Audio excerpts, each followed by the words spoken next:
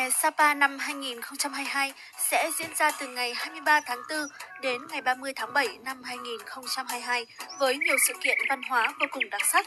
Khởi động chuỗi các sự kiện ngày 23 tháng 4, thị xã Sapa sẽ tổ chức khai mạc lễ hội mùa hè vào 9 giờ 15 phút tại sân khấu Vườn Hồng Gadi Sunworld Fansipan Legend. Ngay sau đó sẽ diễn ra khai mạc lễ hội Hoa Hồng Fansipan 2022 với chủ đề Fansipan xứ sở Hoa Hồng trong mây diễu hành Carnival Sapa xứ sở Hoa Hồng. Trong kỳ nghỉ lễ 30 tháng 4 mùng 1 tháng 5, du khách sẽ được trải nghiệm một loạt các sự kiện văn hóa, lễ hội đặc sắc như sản phẩm du lịch văn hóa trải nghiệm tái hiện chợ tình Sapa từ 21 giờ ngày 30 tháng 4 năm 2022 thứ Bảy tại khuôn viên Trung tâm Thông tin xúc tiến du lịch tỉnh Lào Cai số 02 Phan Xipang, thị xã Sapa. Trải nghiệm sản phẩm du lịch Sapa, thổ cẩm và hoa, hội trợ thổ cẩm quà tặng, quà lưu niệm, đặc sản Lào Cai diễn ra từ ngày 30 tháng 4 đến ngày 3 tháng 5 tại Trung tâm Thông tin xúc tiến du lịch tỉnh Lào Cai, số 02 đường Phan Xipang, thị xã Sapa.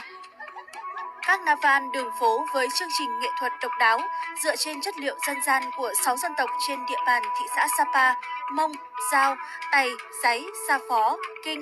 vào chiều 30 tháng 4 năm 2022 và sáng ngày 1 tháng 5 năm 2022 tại khu vực trung tâm thị xã Sapa. Lễ hội Vó ngựa trên mây với sự tham gia của 30 nài ngựa đến từ Bắc Hà, Simacai, Bát Sát, thành phố Lào Cai, tỉnh Lào Cai và tỉnh Tuyên Quang. Chương trình có sự kết hợp biểu diễn ca múa nhạc dân tộc từ ngày 29 tháng 4 đến hết ngày 2 tháng 5 tại khu vực Gadi Cáp Treo Phan Xipang.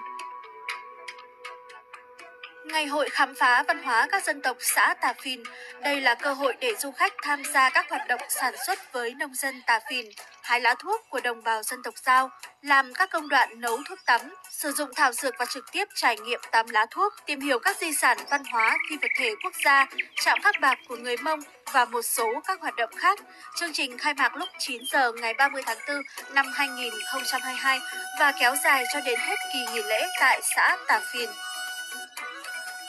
Lễ hội Đá và Hoa, chương trình khai mạc lúc 9 giờ 30 phút ngày 30 tháng 4 năm 2022 cho đến hết ngày 3 tháng 5 năm 2022 tại khu du lịch sinh thái Hàm Rồng, thị xã Sapa. Tại đây du khách sẽ được tham gia hoạt động văn hóa, văn nghệ, ẩm thực, trình diễn các nghề thủ công của các nghệ nhân, trò chơi dân gian, tham quan các vườn hoa, rừng đá được thiên nhiên ban tặng, khám phá du lịch núi Hàm Rồng.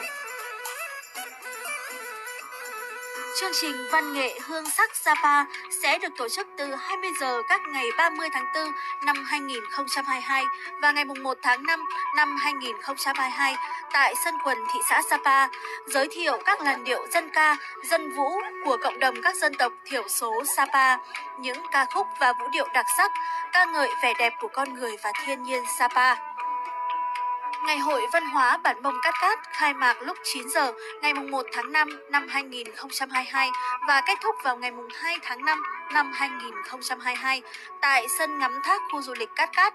giới thiệu các hoạt động văn hóa, văn nghệ dân gian của dân tộc Mông, các trò chơi dân gian, trình diễn nghề thủ công truyền thống dân tộc Mông, rèn đúc nông cụ, chạm khắc bạc, xe lanh, dệt vải, nhuộm tràm. Từ sau kỳ nghỉ lễ 30 tháng 4 mùng 1 tháng 5, Sapa vẫn còn nhiều hoạt động văn hóa đặc sắc để thu hút khách du lịch mùa hè như Ngày hội văn hóa Ấn Độ tại Sapa, giải chạy Sapa mùa nước đổ, Đại lễ Phật đàn, Ngày hội quốc tế Yoga trên đỉnh Phan Xipang, sâu diễn nghệ thuật vũ điệu trên mây, lễ hội trốn nóng trên mây, các sự kiện được tổ chức giải rác trong tháng 5, tháng 6 và kết thúc vào cuối tháng 7 năm 2022. Hãy đến với Sapa dịp hè này để khám phá, trải nghiệm các giá trị văn hóa truyền thống các dân tộc Sapa và thưởng thức đặc sản nổi tiếng của đồng bào nơi đây.